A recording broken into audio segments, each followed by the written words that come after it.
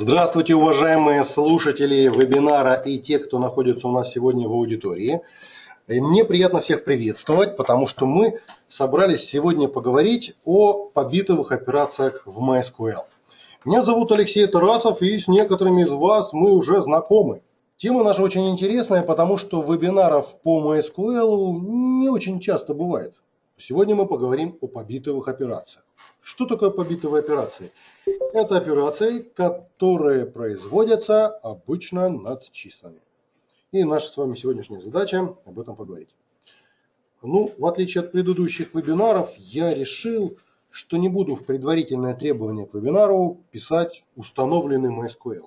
А давайте сделаем так. Я буду работать с MySQL, а мы посмотрим, зададим вопросы, постараемся понять, а потом на досуге в свободное время, когда будет выложена видеозапись, еще раз попробуем повторить это дома самостоятельно. Это не означает, что вы не можете попробовать прямо сейчас, у кого дома установлен э, MySQL, те же самые операции, но лучше будет, если мы больше внимания обратим вот на то, что будет производиться здесь и сейчас. Итак, первое, с чего мы с вами начнем, это с разговора о том, а, во-первых, что такое битовые данные и вообще вот, есть ли там тип данных отдельный, связанный с побитовыми операциями или нет. Оказывается, да, в MySQL существует отдельный тип данных, связанный с битовыми операциями. Заранее подготовил страничку, чтобы время не терять на поиск. Он так и называется, этот тип данных бит. Что можно интересного сказать э, про этот тип данных? Ну, во-первых, он обычно хранит от 1 до 64 бит информации. Ну, давайте вспомним, что такое бит. Бит – это когда, если говорить очень утрированным обывательским языком, у нас получается значение 0 или 1. 1 или 0. Это один бит информации. Соответственно, в э, колонку с таким типом данных мы можем вписать Э, от 1 до 64 бит, от 1 до 64 бит. Отлично. Документация MySQL говорит нам о том, что приблизительный объем данных, который занимает столбец, равен э, размерности буквы M, которую мы указываем в колонке бит, плюс 7 поделенное на 8. Забавно, что указывается именно приблизительный размер данных столбца. Э, напомню, что мы можем с вами указать э, размерность и тип столбца либо в консоли, работая с ней, либо работая с замечательной, удобной утилитой под названием Workbench. Я честно признаюсь, что заранее установил и подключил Workbench, чтобы показать, продемонстрировать, как может быть создан э, битовый тип столбца. Вот у меня по умолчанию есть база данных MyDB. Ну, попробую создать какую-то таблицу. Я даже название у нее не буду особо менять. А вот тут первым полем стандартный первичный ключ. И вот тут самое интересное будет некоторый столбец B. Видите, вот он B. Столбец, ну чем не столбец. Вот тут выбирается тип данных. Забираюсь, либо нахожу в списке этот тип данных, либо записываю вручную. Бит и в круглых скобках число от 1 до 64. Ну, например, это может быть число 16, а может быть 24 и так далее. Понятно. Говорю ОК. Следующий столбец мне на самом деле не нужен. И после этого я могу эту таблицу э, воссоздать в MySQL при помощи э, клавиши э, пункта меню Forward Engineering. Давайте попробуем, как это получится. Next, next. Угу. Workbench э, любит попросить э, подключение к текущему инстансу MySQL, к текущему экземпляру. Я сразу не установил его в хранилище, поэтому делаю это сейчас. Пароль использую тот, который мы обычно используем на занятия. Плохой, паспорт. Да.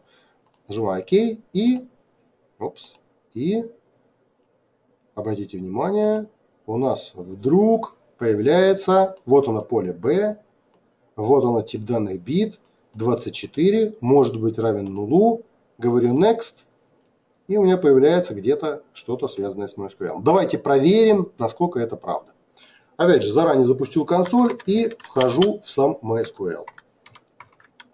Ну, те слушатели, которые у нас были на курсах, они э, с удовольствием встретят знакомые описания. Мы на курсах постоянно используем root и password. Это не есть хорошо, но для учебных целей очень подходит. Так что, кто придет на занятие, сразу встретит знакомый вариант. Э, забираюсь в... Э, неправильно, забираюсь, флажок P не указал. Забираюсь в нашу консольку. Все, я внутри. Давайте посмотрим, какая версия MySQL у меня сейчас стоит. Это можно сделать при помощи бэкслэша. Итак, у меня версия 5.7.11. До занятия я успел скачать более свежую, не 5.6. Ну, разницы в работе с битами э, в версиях 5.7 и 5.6 ее нету, поэтому не страшно. Один час уже мой сервер работает. И вот тут я проверяю. Show Databases. Ну, есть здесь база данных MyDB. Про остальные мы некоторые базы знаем по курсам, про некоторые еще не знаем. Они появились в версии 5.7. Вот она база MyDB.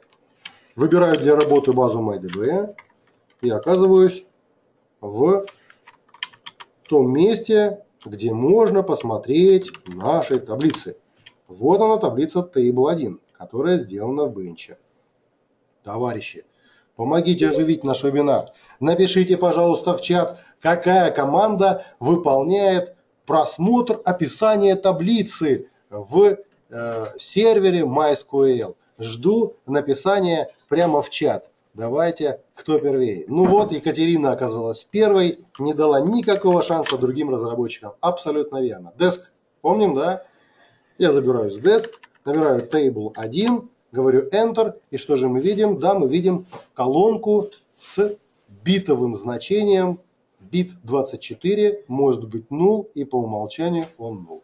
То есть, вот первый шаг мы сделали. Мы можем создать битовое значение с битовой колонкой. Прекрасно.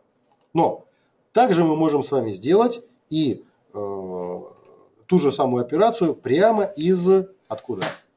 Из консоли. Ну, сразу хочу сказать, что следующий мой пример, который я буду использовать, он будет э, Э, фактически обыгрывать ситуацию, которая есть в документации. Я ничего тут нового не придумываю. Слушателям вебинара я отправляю ссылку в чат. Вот э, сайт Byte Bit Field Literals. Работа с битовыми данными. Итак, э, попробую сначала создать таблицу, которая будет иметь битовое значение. Заранее я подготовил название этой таблицы. Оно, правда, у меня не такое удобное, как хотелось бы, может быть. Вот. Например, сейчас, сейчас, сейчас, например, предыдущую удалю, drop table 1 и создам еще раз такую же, но уже по-своему. Create table, table 1 и у нее будет внутри bit column, колоночка битовая с размерностью 16. То же самое, но только ручными средствами. У меня появляется таблица ну, приблизительно такого же формата, как и была. Бит колумн, бит 16. Отлично. Теперь я хочу вставить сюда данные, которые будут являться битовыми данными. Но здесь надо помнить, что битовые значения обычно указываются при помощи специальной буквочки B перед э, кавычки, перед строкой с кавычками. Давайте посмотрим, как это делается. Допустим, я хочу э, описать некоторое значение 0,1110.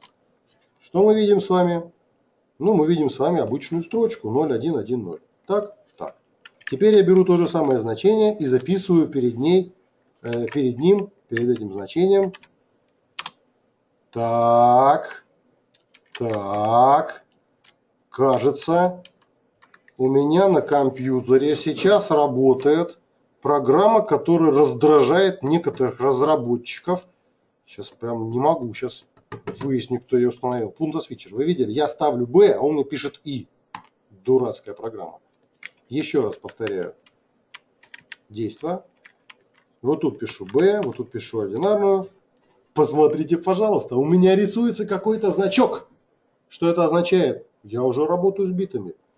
Ничего страшного, что он что там показывается какой-то там стрелочка там, или какой-то там зонтик или что-нибудь еще. Главное, что вот это битовая величина. И это означает, что мы с вами можем э, уже помещать вот эту величину в колоночку типа бит. Некоторым не очень нравится э, вариант с записью стрелочки, поэтому э, иногда используется вот такое вот средство, как плюс нолик. Мы берем битовое значение, прибавляем нолик и узнаем, чему соответствует это битовое значение. 29. Ну, легко, быстро проверить, так ли оно работает или не так. Кто помнит, чему равняется э, значение в десятичной системе битовое 1,0? Кто помнит? Или кто знает? Это же 2. У нас идет 0, потом идет 1, потом идет 1, 0, потом идет 1, 1. И вот так вот меняются наши величины. Ну, неважно, помните вы или не помните, главное что. А. Битовое значение мы можем получить, указав кавычки, записав его нулями, единицами, прикрепив Б. А увидеть, чему оно равно, можно, один из вариантов, это прикрепить к этому значению плюс нолик. Еще раз посмотрев, какой у меня э, тип колоночки, сделав это вот так, desk э, table 1, я собираюсь сейчас внести туда данные с э, какими-то битами величинами. Давайте посмотрим, какие данные я запланировал себе ввести. Insert into, во-первых, будет первое значение достаточно большое.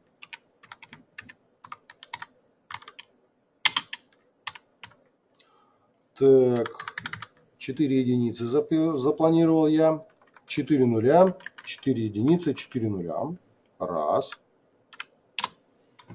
Так, что-то где-то пошло не так. А, проверяю, проверяю. Insert into есть. Table 1 есть. Set есть. Bit column есть. B есть. Чего-то не хватает. О, да, бывает. Бывает. Самое главное забыл. Тыдынс значение ушло. Следующее значение будет совершенно поменьше. А, я запланировал 1.1.0.1.0. Раз, тоже прошло. Значит, у нас некоторые пытаются спешать, спешить там писать, конспектировать. Не стоит. Все логируется. Все данные будут в конце вебинара, конечно же, предоставлены. Поэтому просто пока что посмотрите на саму работу. И еще одно значение вот такое. Итак, я ввел Э, сколько? Раз, два, три, три битовых значения. Некоторые разработчики, не работав раньше с битовым значением, допускают вот такое, откровенно говоря, нехороший э, вариант э, выборки из таблицы Table 1. Надеясь получить вот эти единицы и нули, они делают вот так и получают ее стрелочку и стрелочку. Почему? Да потому что это есть битовые значения, что на них смотреть.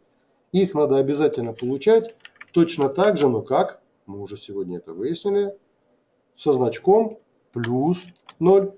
Обратите внимание, первое битовое значение соответствует десятичному числу 61 680. Второе битовое 26, третье битовое 16. То есть каждый раз нам придется, если мы хотим в десятичном формате, смотреть Э, с помощью плюс 0. Ну, хорошо. Следующий момент. Конечно, записав битовые значения, очень здорово посмотреть в десятичном формате. Но э, на практике-то удобнее, когда мы видим опять единицы нулей, которые установили.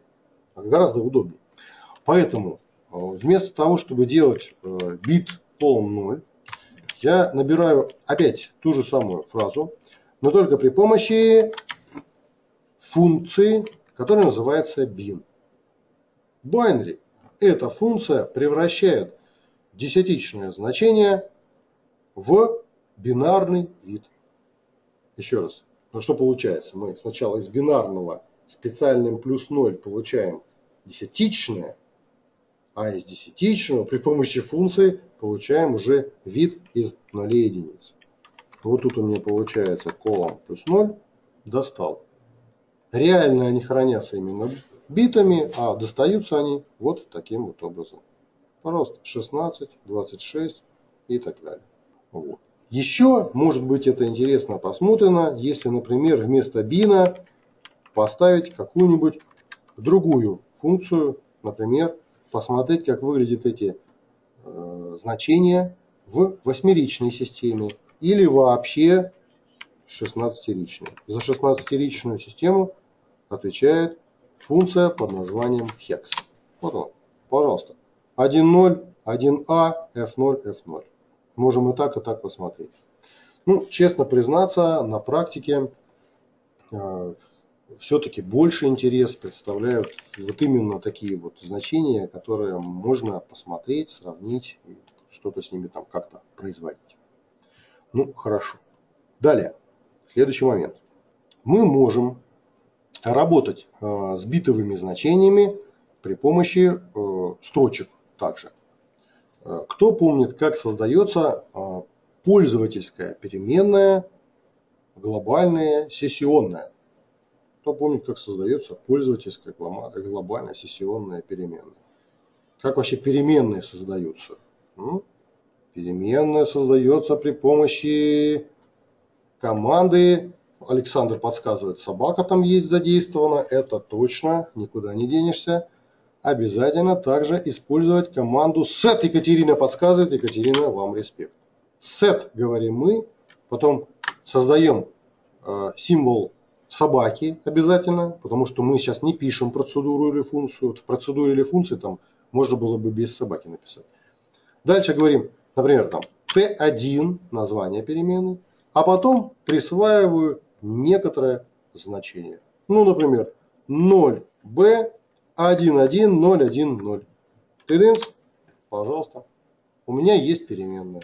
Могу ее тут же получить. Select T1. Пожалуйста. Это что такое? Это битовое значение. Понятная идея. То есть у нас получается, что мы можем в любой момент создать набор таких строчек. Хорошо. Идем дальше. Как еще можно обыграть работу с битовыми значениями? Создам переменную под названием э, собака T2. T2. И попробую использовать функцию, которая называется cast. Ну, я на занятиях обычно эту функцию не показываю, потому что и битовые значения мы тоже на занятиях особо не рассматриваем. Скажем так, они имеют очень сильного распространения. Они интересны разработчикам при создании каких-то специфических колонок, которые могут например, настраивать права на каких-то э, сущностях или на каких-то ресурсах в вашем сайте или в вашей системе. Вот. Итак, функция cast позволяет нам э, превращать значение из одного вида в другой вид. Ее синтаксис он достаточно простой. Надо на первом месте прописать величину, которую мы хотим посмотреть. Ну, например, это будет величина, которую я только что указывал, 0b 11010. А дальше указать один из типов данных, который нам может быть интересен. Нам будет интересен сейчас один тип данных. Это unsigned. Это что такое? Беззнаковые целые, беззнаковые целые положительные числа. Ну, потому что ну, не в точку что мы конвертировать будем. Раз, получили. И тут же смотрим, чему равняется Т2. Обратите внимание, что в этот раз в переменной хранится уже вовсе не битовое значение, а десятичное значение на основе битового. То есть это немножко разные вещи. Но нам все равно любая работа с битовыми операциями сейчас интересна. Поэтому будем смотреть вот так. Ну хорошо. А вот дальше мы с вами приближаемся к очень интересным вещам. А именно, в э, MySQL есть несколько интересных э, функций, которые позволяют э, найти, посмотреть, например, количество установленных битов в наборе. Вот давайте попробуем посмотреть. Значит, первым делом я хотел бы показать вам еще раз выборку. Кстати, она у меня где-то тут была. Вот она. Вот она. Да, вот она. Вот, пожалуйста, у нас здесь получается какой-то набор. А теперь смотрите. Что если я напишу, что у меня будет выбрано одно единственное значение? Так, оно выбирает самое верхнее, самое-самое. А теперь я хочу использовать функцию под названием э, bitCount. Попробую ее сейчас использовать. Вот здесь записываю бит, вот здесь записываю count. Все помнят, как count работает обычный. Обычная функция, функция count, группирующая функция, она считает количество каких-то элементов, неравных нулу в одной в отдельной колонке. Ну, например, на курсах мы считаем, какое количество городов в таблице Сити существует, если они не равны нулу. Или вообще, в принципе, сколько записей может быть. Так вот, биткаунт позволяет нам посчитать в этом случае, сколько у нас установленных битов э, в системе. Сколько здесь установленных битов, видите? 1, 1, 1, 1, 1, 1, 1, 1. У нас 8 установленных битов. И то же самое с другим любым вариантом. Попробую убрать лимит 1 и посмотреть, сколько битов в каждом. Ну, даже, наверное, пожалуй, будет более очевидно, если мы сделаем вот, вот так. Вот здесь 8 бит задано, вот здесь раз, два, три бита задано, вот здесь задан 1 бит. В любой момент мы можем посчитать, сколько задано бит. А теперь очень специфическая интересная вещь. Оказывается, кроме бит-каунта есть еще функции, которые называются bit-end, bit-or и bit-xor. Ну, я так сразу сейчас не вспомню, в каком разделе документации они находятся. Ну, память мне, если не ошибаюсь, подсказывает, что есть у нас где-то в разделе функций, где-то в разделе функций, не вижу, по-моему, по-моему, даже вот, вот здесь, вот, вот здесь. Функции, которые занимаются группировкой. Group by aggregate function. Какие функции занимаются обычно группировкой? Это функция average, avg, это функция count, это функция sum, и там group concat и куча других функций. И среди этих функций, опять же, есть несколько, так, по модификаторам, по хендлингам, так, это все не так, которые отвечают именно за битовую группировку. Да, вот они. Bintend, bitor, bitxor. Значит, опять подчеркиваю, на курсе я про них не рассказываю, потому что очень редко, когда э, кому-то это нужно, а во-вторых, если нужно, то э, на занятии не получается за ограниченный промежуток времени доступно пояснить, вот как эта штука работает. Что они делают? Они позволяют сгруппировать э, наши данные по э, тем э, полям, которые у нас содержат битовое значение. Давайте попробую показать пример один какой-нибудь пример вот на нашей выборке, на нашей таблице. Значит, первым делом вспоминаю, что у нас лежит, а вторым делом указываю следующее. binend. Так, один секунд. bitend набрал правильно. Bitcoin. А, bin. О, ну конечно, конечно, спасибо целый день сегодня и уже глаз замылят. Итак, беру и говорю bit end. Ну, кто догадается, почему у нас вывелось 1 и 4 нуля. Эта задача несложная, важно сравнить те значения, которые есть при выборке и те, которые у нас сейчас попались в самой выборке. Везде есть единичка.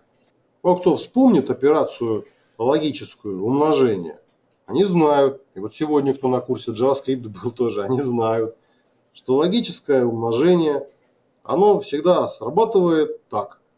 Если у нас везде true, то будет э, результат true. А здесь же а здесь битовая операция. Но по факту это что же самое. Где есть единица, там везде единица. Почему на втором месте единица? Потому что вот тут ноль. И тут везде, где ноль, где единица, они везде получаются вот такие. Ну хорошо. Теперь попробуем сделать э, OR. OR это у нас фактически или. Давайте сравнивать. Что такое или? Что такое или? Или это у нас выбрать те значения, сложения фактически, да, побитовые, которые имеют единицу.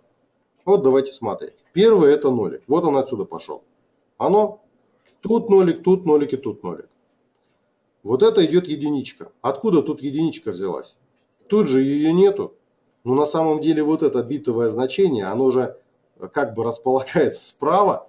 Просто да, просто оно отформатировано немножко неудачно, но оно располагается справа. Дальше. Третий ноль, потому что тут ноль, тут ноль и тут ноль. Четвертая единица, потому что вот тут единица. Потом идет ряд единиц вот этих. Потом идут 4 нуля, потому что слевее вот этих значений там уже ничего нету. И 4 единицы вот от этого битого значения. Вот, пожалуйста, взяли, выбрали, нашли те, которые содержат единицы. Ну и еще есть одно значение, но, наверное, будет менее понятно. Это исключающее или XOR. Да? Проверяем, как оно работает. Кто помнит, как работает XOR? Значит, если они у нас... Э, так, это у нас... Так. Значит, если они у нас э, одинаковые, это у нас 0. Если они у нас разные, то единичка. Опять одинаковые 0. Опять разные, тут нолик есть, единичка. То есть, если они каждый раз в противовес идут, то вот получается, что у нас будет единичка. Исключающее или. Абсолютно верно. Вот так это дело работает, если мы говорим с вами о чем? О работе со столбцами таблицы. Вообще же, вообще же существует, э, вообще существует. Некоторые пароли так Конечно. И э, получается очень даже, очень, очень даже надежно. Да? Значит, существует также э, вот именно целый набор таких битовых операторов, когда мы явно хотим применять, а не просто делать группировку. Во-первых, это побитовое И. Это вот как раз то самое пересечение, о котором мы говорили. Дальше идет побитовое или. Вот. Потом идет знак какой? Побитовое исключающий или, который вот как раз этот самый XOR. У нас забавные случаи иногда бывают. Некоторые разработчики, они э, где-то, когда-то что-то слышали про то, что э, крышечка означает, что возведение в степень. И на занятиях начинают возводить степень. И почему степень возведена неправильно? Или наоборот, вот так. Вот смотрите, степень работает, ну там непонятно какой результат. Это работает как исключающие или, это важно. Дальше есть еще парочка операций. Это сдвиг влево, сдвиг влево, сдвиг влево. И есть сдвиг вправо. Сдвиг вправо. Тоже сейчас о них поподробнее поговорим, потому что на самом-то деле они в JavaScript есть, они везде есть, но не каждый знает, как с ними работать. И последняя операция, которая тут интересна есть, это какая? Побитовое, побитовое отрицание. Побитовое отрицание. Ну, и я хотел бы показать сейчас, как с этими операциями работать. Значит, нам понадобится, во-первых, создать парочку переменных, чтобы посмотреть на их работу. Переменные будут, ну, опять же, приблизительно такого же плана, как и раньше. Переменная будет t1, первая, и иметь она будет значение 0b, 1, 001 плюс 0. Вот так. Сейчас я проверю, правильно ли я ее задал. Значит, смотрите. Чтобы упростить задачу себе сейчас, я создаю битовую, битовое значение, но в переменную кладу десятичное значение. Вот оно битовое плюс 0 превратилось в десятичное. Тут девятка хранится. Хорошо. Теперь я устанавливаю вторую переменную. Вторая переменная отличаться будет от первой только одним знаком. Не забыть надо двойку прописать вот здесь. Хорошо. А теперь мне придется прописать очень э, такой длинный кусок кода, который э, лучше, наверное, в нотепаде плюс-плюс оформить, потому что если в консоли я там ошибусь, то придется э, постоянно чистить ее, там что-то еще делать. Значит, э, что я тут задумал? Значит, смотрите. Первым делом у меня будет идти оператор select, который будет показывать исходное значение t1. Причем я хочу, чтобы он выводил ее как название. Что же именно я показываю? То есть это простой, простой кусочек строки. Скаляр. Так делать можно. Дальше я ввожу бинарное значение самой Т1. Ну, я думаю, что это тоже все достаточно понятно. А дальше я делаю то же самое, но только для чего? Для Т2. Это понятно? Вот Т1, вот Т2. Обратите внимание, что два запроса Select нельзя написать друг с другом без точек запятой между ними. Ну, нельзя. Два запроса должны быть разделены либо точками с запятыми, либо, я вспоминаю про один замечательный оператор на курсе MySQL, часто спрашивают, зачем он существует, и мне приходится рассказывать, но вот тут это просто здорово. Union All. Напомню, Union All позволяет объединять сразу несколько селектов и получать одну выборку из нескольких селектов. Иногда он здорово пригождается программистам, которые очень хотят снизить нагрузку на базу. Что лучше? 10 запросов объединенных UnionMall, то есть как один запрос идет, или 10 отдельных. Конечно, один UnionMall лучше. Но мне придется тогда писать у каждого UnionMall, UnionMall, UnionMall, пока у меня вся эпопея не закончится. Значит, еще раз, вот этот UnionMall, во-первых, сейчас э, мне позволит показать данные в удобном для меня и для вас виде. Во-вторых, объединит отдельные запросы. Два в одном. Так, следующая операция, которая у меня будет делаться, она будет включать в себя именно уже и операцию. Я записываю в одном месте операцию, а в другом месте действие между нашими переменными. Ну пусть это будет между t1 и t2. Между t1 и t2. А напоминаю, у нас t1 и t2, они заданы, вот они. Вот, например, при умножении, то есть при побитом умножении, да, что будет происходить? Будут показывать там, где будут единички только. А что это означает? Получится, что у меня результатом будет 1, 0, 0, 1, как и было в первый раз. Правильно? Ну хорошо. Я не ослабляюсь и создаю еще раз, два. Вот тут будет или. Вот тут будет исключающая. Там, где цифра 6 через Shift. Вот здесь будет у меня Э, скажем так, Т1 на единичку сдвигаю влево, нормально? Вот здесь вот я буду сдвигать Т2 на двоечку вправо, вправо. Хотя, хотя давайте на Т1 будем повторять все это, пусть. И, э, и остается у нас только что отрицание, побитое отрицание. Значит, отрицание у меня будет записываться ну, тоже как-то вот, вот так. Теперь прописываем. Вот здесь вот.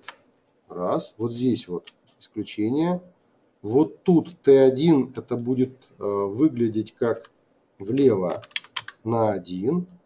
А вот тут будет выглядеть как Т1 вправо тоже на 1. Да, и последнее осталось.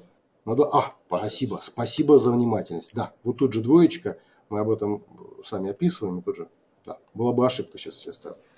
И последнее это отрицание. Вот оно. Оно у последнего юниона не нужен. Вот получился вот такой запрос, который в конце занятия я скажу, где найти и взять себе скопировать. Отправляем этот запрос на выборку. Переменные там еще у нас есть. Потрясающе! Результат в студию. Значит, проверяем первое. Вот оно Т1, 1001. Вот оно Т2, 1101. Теперь, это что у нас за операция? Это у нас, это у нас И. Это у нас умножение. Получается 1001. Везде перемножили единички нули. Вот это у нас сложение. По факту у нас получилось какая, какой здесь вариант? Т2 получился. Вот это у нас исключающее что? Или. Исключающее или. У нас получается что? 0, вот тут вот 0, вот тут вот 0, вот тут вот 1, а вот тут вот 0. А ведущий 0 он не пишет, он всегда у нас прижимается к левой части выборки. Отлично. Дальше. Один сдвиг влево. Что получилось, когда мы сдвинули э, влево вот это значение? Получился 1, 0, 0, 1, 0. А когда Т1 сдвинули на 2 вправо, получилось что? 1, 0. А поясню. Т1 было 1001, сдвиг влево на единичку прибавляет 0 справа, 1. Правильно, да? А сдвиг Т1 изначального на 2 вправо удаляет последние два знака и остается только 1, 0. Но это не самое интересное. Самое интересное, что это означает. Да. Вот давайте попробуем, как мы делали, как я делал, показывал до этого, создать переменную, например, t3 и сказать, что она равняется, там как там, 0, 0b, 1, 0, 0, 1, нет, не, не, не, не так вот, 1, 0, 0, 1, 0 плюс 0, точка с запятой. И посмотреть, чему равняется. Во-первых, что t, у нас там какое было, t1, да? t1, правильно? T, сейчас, t1. А во-вторых, посмотреть, чему у нас равняться будет t3. И проверим. О, первое значение идет 9, второе значение идет 18. Оказывается, один сдвиг числа влево по битовой производит умножение этого числа на 2, а сдвиг вправо, наоборот, деление на 2. И вот иногда, когда задание задается на курсах, там, считать как-то, бывают э, слушатели, которые вперед убегают и говоришь, давайте-ка мы пооперативнее сделаем. И есть некоторые задачки, когда нужно посчитать там количество байт, килобайт, гигабайт, да, перевести из одной в другой. Даешь им пример, начинаются умножения, 2 в десятой, там, чтобы умножить, там такие целые. Все, на один сдвиг сдвигаем, умножили на 2. А как умножить э, на 2 в десятой? Например, любое число умножить на 2 в десятой. Вот, допустим, у нас есть select э, 4, select 4. И нам нужно умножить на 2 в десятой. Сдвинуть на 10. 2 в десятой. 2 в десятой это у нас 1024. И 4 умножить на 1024 получается 4,96. Практика подсказывает, что скорость выполнения э, побитого сдвига или побитых сдвигов существенно превышает скорость умножения там, в цикле или просто обычными операторами умножения. Вот, что хотелось рассказать про побитовые операторы и э, колонки и побитовые операции в MySQL. Как обычно, мы переходим к сессии вопросов-ответов. Пожалуйста, уважаемые слушатели, кто у нас на связи, задаем вопросы в чат. Я постараюсь на них ответить. То же самое касается слушателей в аудитории. Почему последние единички получились? Спасибо за вопрос. Как-то я совсем-то забыл про них рассказать. У нас, а, давайте вспомним, последняя операция была отрицание Т1. Отрицание Т1. Так? Что такое отрицание Т1? И чему оно у нас там было равно? Сама величина у нас получается Т1 это 1, 1, а, 1, 0, 0, 1. Так? Значит, как происходит отрицание? Мы там, где у нас была единичка, ставим 0, а там, где у нас был 0, ставим единичку. Если вдруг получается, что первое значение у нас превращается в 0, вот в таком действии, то оно уходит как бы вот э, в обратный отчет от э, максимальной величины. Оно сдвигается, да. И вот помните, мы начинали занятие Э, когда я сказал, что максимальный размер может быть 64 бита. Вот если мы посчитаем вот эти вот количества вот этих вот значений, видите, тут вот 0 будет идти, вот он, вот он 0 пошел. Вот он один, а вот оно добило. Ну, кстати говоря, тут не 64, тут чуть-чуть больше. Э, вот, я, если не ошибаюсь, первый там указывает на знак уже, самой операции. А вот еще какие, куда указывают, я, честно говоря, не знаю. Чуть-чуть больше получается храниться, чем. Но еще раз, самый главный ответ это то, что у нас произошло здесь как бы переполнение, и мы пошли в другую сторону. Да. Да.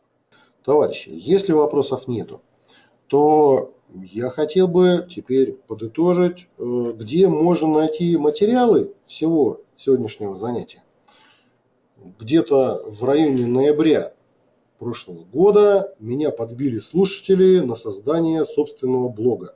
Ну, блог завел, надо что-то туда писать. В общем-то, где-то, по-моему, в, в, конце января на страничке htmllab.ru, это так и называется блог, появилась, появилась заметка «Предвестник» как раз на тему э, по нашему текущему вебинару. Поэтому, если вы заберетесь э, на блог и откроете ссылочку курсы MySQL, то где-то среди этих, а тут одна заметка всего по MySQL, то вы найдете эту заметку тип данных бит MySQL.